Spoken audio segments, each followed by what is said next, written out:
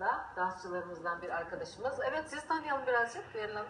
Bilişiniz söylediğiniz gibi. Mimar Sinan e, Devlet Konservatuarı mezunuyum. Modern dans bölümü mezunuyum. E, uzun süredir hani profesyonel e, modern dans ya da çağdaş e, dans alanında çalışmaktayım. Zeynep Tambay Dans Projesi'nde e, dans ettim. E, şimdi MDT İstanbul'dayım e, bir senedir. Onun öncesinde m, Anadolu Ateşi, Şaman Dans Tiyatrosu gibi Aa. değişik gruplarda evet Anadolu Ateşi ne kadar oynadınız oralarda? Üç sene dans ettim. Şaman'da yaklaşık dört e, sene. Oradan e, Şaman'dan hala ayrılmış gibi değil. Yani gönül bağımız hala devam, Devam ediyor, ediyor. bir şekilde. Ama hani artık e, daha çok modern dans, çağdaş dans. Neden Aa. çağdaş dans, modern dans? Neden onu tercih ettiniz? Yani, yani. ruhunuzca böyle sahnede... Evet, e, bu çok klişe bir...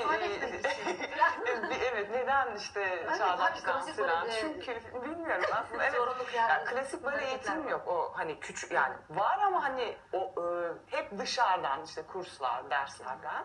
O klasik böyle bir şekilde yani küçükken başlamak gerekiyor. Hmm. E, ama Siz sonradan mı başladınız? ben aslında ODTÜ işletme okudum. Yani küçüklükten beri dansla uğraştım Uğraştınız, amatörce. İlk önce işletmeyi bir bitirdim. Ondan sonra yani hep bir, bir vardı. E, dans İşte hayatımda kenarda vardı ama duruyordu, o, evet. o bir olamadı artık yani. Aha. Oradan mezun olduğum gibi e, geldim İstanbul'a Anadolu Ateşi'nin sınavlarına girdim, kazandım ve sonra bunun akademisini bitirmem gerektiğini düşündüm. İşte o dersler bu bilmem yani sürekli workshoplar kovalamak, işte her derste olmaya çabalamak, e, kimden ne alabiliyorsam almaya çabalamak şeklinde.